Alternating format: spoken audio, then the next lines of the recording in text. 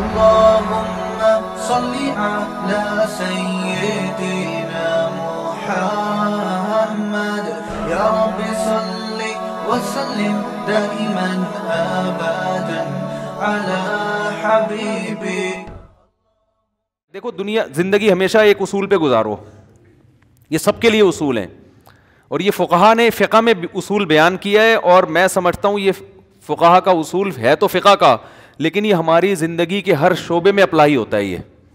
समझते हो कि नहीं समझते? वो ये है कि जब भी कुछ का, कोई कोई चीज़ सोचा करो ना तो इसमें ये सोचो कि इसमें असल क्या है।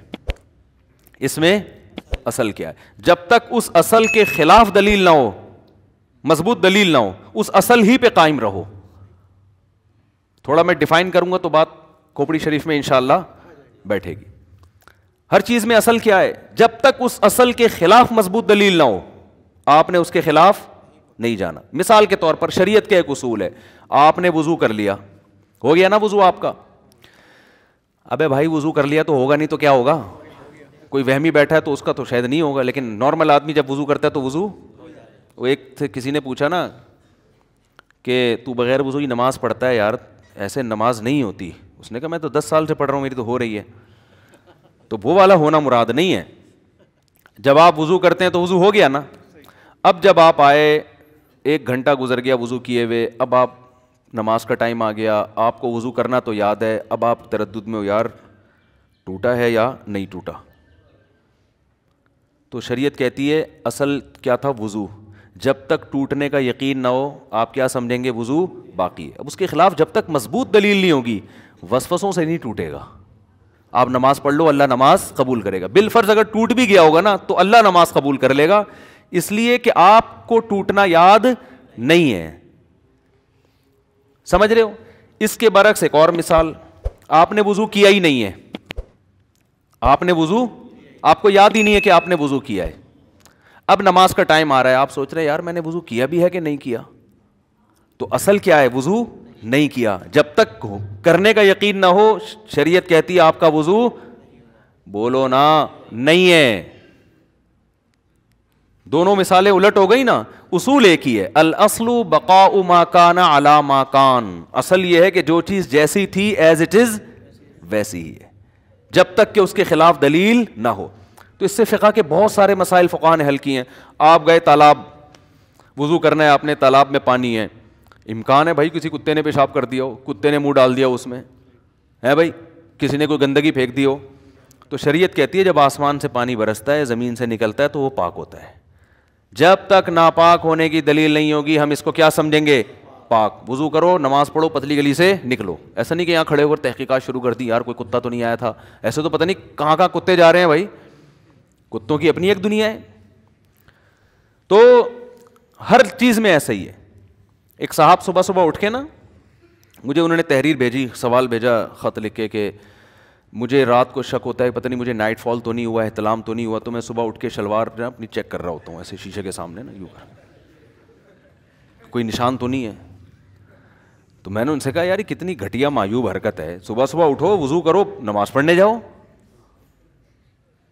भाई, क्यों? नाइट फॉल में असल क्या है कि नहीं हुआ? जब तक होने का यकीन ना हो तो हम क्या कहेंगे? नहीं हुआ भाई, हर आदमी को असल तो ये कि नहीं होता कभी कभार हो भी जाता है। तो ये थोड़ी कि अब वो शलवारें उठ उठ के चेक कर रहा है तो क्या आगे तरक्की क्या करेगा भाई तू? ये आदमी तरक्की कर सकता है। तो सारी ज़िंदगी इसी में लगा रहेगा। आपका आपने पेशाब किया, कतरे ख़त्म हो गए, आना, आपने इस्तिंजा किया, फिर आपने वज़ू किया, फिर आपको अब शक हो रहा है, पता नहीं पेशाब का कतरा तो नहीं निकला। तो असल ये है कि कतरे नहीं निकलते। जब तक निकलने की दलील नहीं होगी, हम क्या समझेंगे? नहीं निकले। तो ऐसे ही खूब समझ लो, दुनिया में हर जगह ये उसूल लागू होता है। आपकी अपनी जो लाइफ है ना, उसमें भी इसी उसूल पे आप चलेंगे। कल्चर, असल क्या है कि इंसान अपने कल्चर को फॉलो करता है। अब आपको ये शुभ हो गया, यार ये कल्चर सही है या गलत है? जब तक गलत होने की सौ फ़ीसद दलील ना हो कल्चर के अगेंस्ट बोलो ना, मत चलो। हाँ सौ फ़ीसद जब दलील आ गई, यार ये कल्चर गलत है। क्योंकि आप खामखा में कल्चर के खिलाफ चल के अपने आप को टेंशन में क्यों डाल रहे हो भाई? आप क्या है कल्चर है, कोई भी कल्चर हो सकता है। अगर वो नुकसानदेह नुकसानदेह दो वजह से हो सकता कल्चर ऐसी ऐसी बात पर है जो आप उसको मज़हब का हिस्सा समझ रहे हो। हालाँकि वो मज़हब का हिस्सा नहीं है। फिर बिदत होने की वजह से गलत हो जाएगा वो। कि लोग उसको क्या समझ रहे हैं? जैसे ईद के दिन कब्रस्तान में जाने का कल्चर बन चुका है। लेकिन लोग उसको सुन्नत समझते हैं, फजीलत समझते हैं। हम मना करते हैं, भाई, ये शरीयत में ऐसा नहीं है। इसको आप इस्लाम में आप चीज़ों को ऐड ना करें। और बाज़ दफ़ा कल्चर ये होता है कि वो शरीयत के, ऐसा तो नहीं होता कि बेदत हो, लेकिन उसके साइड इफ़ेक्ट बहुत होते हैं। जैसे जहेज़। अब शरीयत ने फ़ी नफसी ही कोई अपनी बेटी को तोहफे देना चाहे तो शरीयत की तरफ़ से कोई पाबंदी नहीं है। भाई बेटी है, आप 25 लाख का जहेज दे दो तो शरीयत में किसी, कोई भी किसी भी टाइम किसी को गिफ्ट दे सकता है। तो जहेज को हम बिदत नहीं कहेंगे, क्योंकि आप शरीयत समझ के थोड़ी दे रहे हो। लेकिन ये रस्म ऐसी है कि इसके साइड इफ़ेक्ट इसके फायदों से ज़्यादा हैं। तो इन दो जगहों में तो कल्चर के अगेंस्ट, बारात का खाना भी ऐसा ही है। शरीयत में मना नहीं है कोई अपनी बेटी की शादी में लोगों को खाना खिला दे। लेकिन ये इसके साइड इफ़ेक्ट शरीयत में तो वलीमा है। बारात वारात का खाना इस्लाम में नहीं है।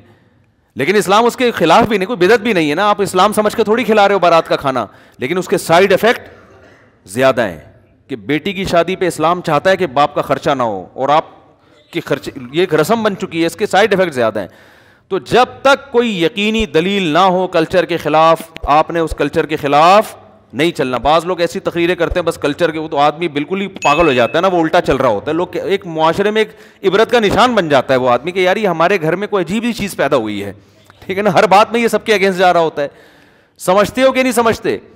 तो इसी तरह खूब अच्छी तरह बात समझ लें कि असल है किसी भी बात को समझाना है तमीज़ से, अखलाक से, उसको अखलाक की मिठास उसमें जितनी घोल सकते हैं घोलें, चाहे अब्बा हो, चाहे बेटा हो। असल में बाप ये समझता है, माँ ये समझती है कि मेरी बेटी है तो मैं जैसे चाहूँ बात करूँ उससे, क्योंकि मेरी क्या है?